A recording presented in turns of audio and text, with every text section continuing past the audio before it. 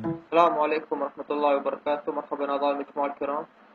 سأقوم إن شاء الله اليوم بالإجابة على ثلاث أسئلة. دائما ما يقوم المختصين بطرحها هي أسئلة يعني الكل يكون يعرف أجوبتها يعني. لذلك سأقوم بال... سوف أقوم اليوم بالإجابة عليها باختصار شديد يعني.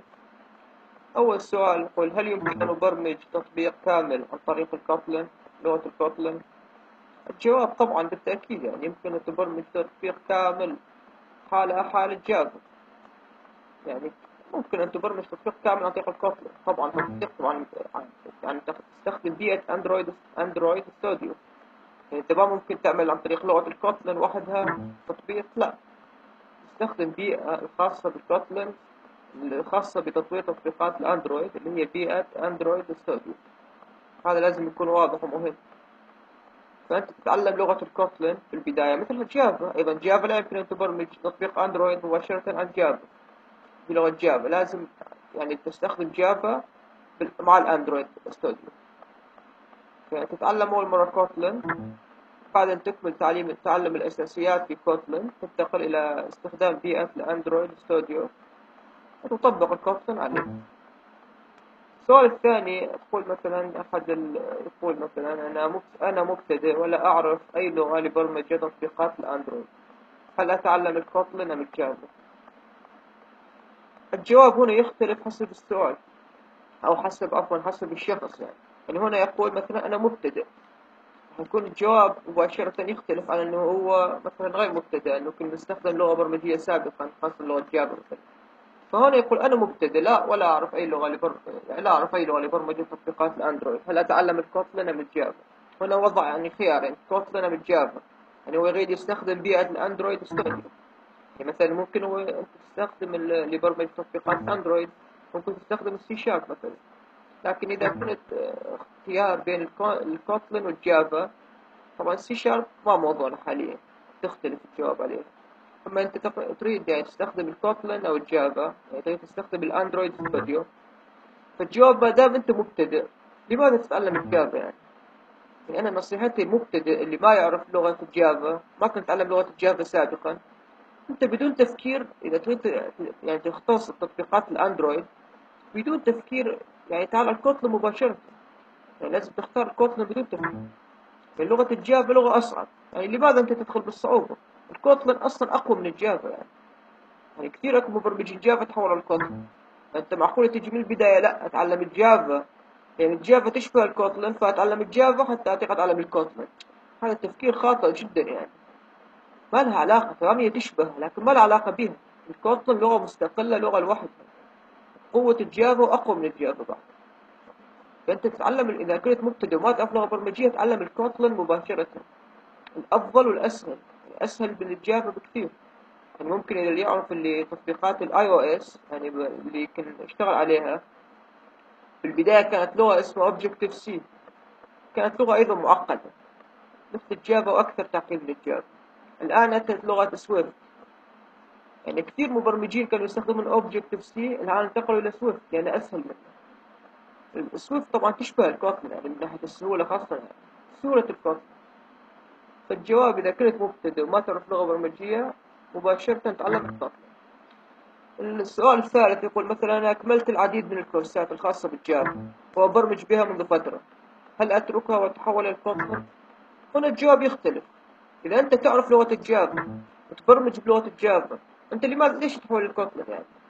ما شرط تحول ال Kotlin إذا كنت تعلمت ال Java وتعبت بها وصلت مرحلة بلغة ال Java لغة ال Java لغة قوية جدا. وتجاب يعني ما ما بس فقط إنك تستخدم لل Android Studio يعني لا ما بس راح تعمل بها تطبيقات Android. لغة Java ممكن بي ممكن تعمل بها أي تطبيق. تطبيقات سطح المكتب تطبيقات يعني مواقع الإنترنت web service كل شيء تعمل ب Java لغة Java تختلف وممكن طبعا تعمل بها تطبيقات Android احترافية وقوية جدا حالة حال Kotlin فأنت إذا أكملت عديد من الكورسات مثلا أكملت واحد يقول لي مثلا أكملت كورسات مثلا الأستاذ عبد الله عيد. ال 101 102 103 أنت إذا أكملت كل هاي لا ما يحتاج شيء Kotlin إلا إذا أنت تريد السهولة يعني. تريد السهولة مثلا فكيف؟ ما لكن أنت مخير أنت ما مجبور تجي على ال Java ولا لكن ما أنا ما يعني أفرض طلعت لغة جديدة مثلا أسهل من ال Kotlin راح تترك ال Kotlin تجي عليها؟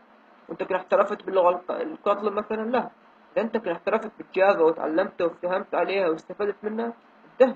يعني صار عندك كتابة الكود ب Java بسهولة انت ما يحتاج تنتقل ال Kotlin أبدا هذه يعني السؤال هنا يعني الجواب يختلف من شخص لآخر. إذا ما كان يعرف أي شيء قل له تكتله أما إذا كان يعرف بال Java ووصل مرحلة بال Java استمر على ال Java طبعا شيء مهم. يعني لازم يعرفوا الجميع أيضا. أنه أنت بال Java وب Kotlin ممكن تعمل أي تطبيق Android باللغتين يعني أي تطبيق ممكن تعمله ب Java ممكن تعمله بال Kotlin وأي تطبيق ممكن تعمله بال Kotlin ممكن تعمله بال Java. وطبعا السي شارب نفس الشيء يعني. فهاي اللغات ممكن تعمل بها أي تطبيق. فقط الاختلاف في تنسيق اللغة يعني. ال syntax من اللغة. ترتيب اللغة. فال Kotlin أسهل بكثير. هذه يعني نقطة القوة الأكبر بال Kotlin اللي هي هي السهولة. ولا الاثنين تعمل بيه بكل شيء. أي تطبيق طيب؟ طبعا بالنسبة للسؤال الأول هل يمكن أبرمج تطبيق كامل عن طريق ال Kotlin هو أنت يمكن أن تبرمج تطبيق كامل عن طريق ال Kotlin أو ال Java لكن ما كلها تطبيقات يعني تطبيقاتك مثلا تعتمد اللي بيها ال web service مثلا. يعني تحتاج web service backend يعني.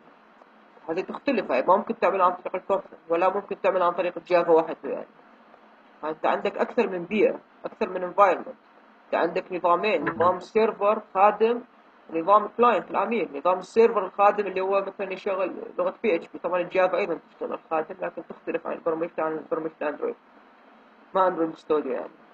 لكن مثلا أنت PHP عندك حتى تبرمج على الخادم تبرمج مثلا ال API مثلا اللي شرحناها قبل فترة مع ال web service أكو طرق عديدة تبرمج API في هاي الحالة تحتاج لغتين يعني لغة مثلا PHP حتبرمج ال API مع ال web service تحتاج لل client اللي هو Kotlin أو ال Java التطبيقات يعني التطبيقات اللي فيها web service طبعا المفروض يعني تطبيقات النظام الحقيقي لازم فيه web service لازم فيه قواعد بيانات موزعة.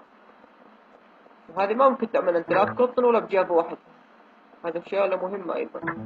وكو طبعا يعني backend أيضا هو يعتبر يعتبر منصة سحابية اللي هي Firebase شركة جوجل ممكن أيضا تربط ترتبط عن طريق Android Studio هي تتكامل مع Android Studio منصة على الإنترنت. هي سحابية كل مكوناتها على الإنترنت يعني. سهولة جدا ترتبط مع ال مع ال Android Studio وممكن عن طريق ال Java وال Kotlin ماكو فرق وقلنا نقطة القوة بال راح اشرح إن شاء الله ال Firebase إذا صار عندي مجال اشرح إن شاء الله بوقت معين.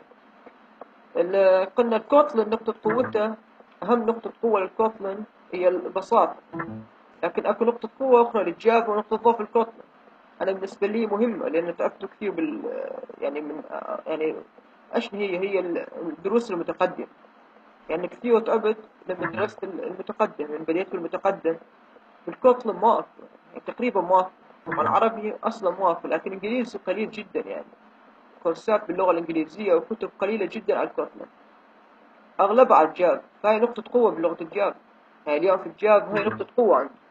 بتوفر عدة كورسات. طبعا الأساسيات موجودة ال Java وال Kotlin موجودة لكن المتقدمة مثل الارتباط بال web service أو. حتى بال Firebase بال...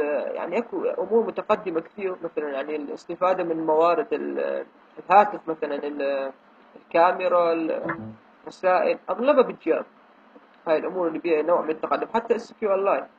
يعني نادر ما ما يمكن أنا ما بلقي أصلا SQLite يشرح على ال Kotlin فقط على ال Java إلا درس الاستاذ حسين الربيعي بال بال بال الغير مجاني باللغة الانجليزيه اللي فتحه مجاني. هذا بينه على ال SQLite مثلا فيها ال web service راح يشرحها احتمال. بس بعد لحد الان ما مشكلة دروس حسين الربيعي الدورة مالته اللي على ال Udemy إنه هي أول شيء إنجليزي يعني اللي ما ما قوي بالإنجليزي يواجه صعوبة. ثاني شيء مباشرة يعمل تطبيق يعني ما يشرح لك اياه خطوة خطوة مثلا ال SQLite. ما يشرح لك ال SQLite خطوة خطوة وش تعملها وش لا مباشرة يعمل بها تطبيق.